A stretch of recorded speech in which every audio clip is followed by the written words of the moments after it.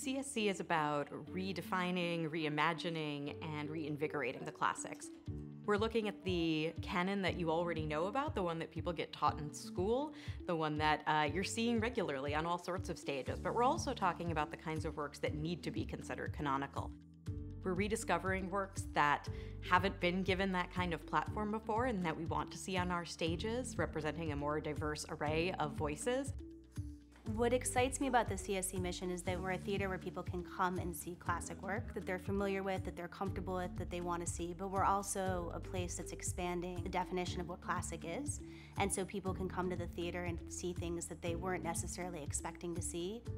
It's about telling the stories that speak to today's audiences. We talk about reimagining. That can be defined in numerous ways, but I think what's exciting for me in our mission is that it never feels old at Classic Stage. Every classic play was once brand new. The people writing today who are doing the most exciting work are riffing on all of the work that they learned over the course of their lifetimes. I love the fact that we are creating new versions, we're creating new interpretations, but if nobody introduces you to that original text, you don't have the base. And so theaters like CSC need to exist to continue to share with people these common texts that will shape everything that comes after for us.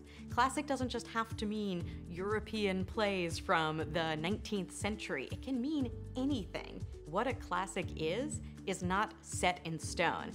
The CSC space is incredibly unique. If you haven't been to our theater, it's in the heart of the East Village. The amazing thing about going to see a performance at CSC is that we produce really big work, but we produce that work in a really small space. It's an incredibly intimate experience, whereas as the audience member, you feel like you're part of the work. You come in and you can't turn off. You have to be engaged in the work. It's impossible not to be. Over the last couple years, we've done work in different formats. We've done digital work, we did a digital gala, work that's really different than what CSC has done. And I think people will be excited to see the expansion of CSC. We offer so many kinds of opportunities for deeper engagement from classic perspectives, which is our talkback series, to the CSC podcast. We're just giving you all of these chances to learn more. If you want to engage more deeply with a piece, we are providing all of those materials for you.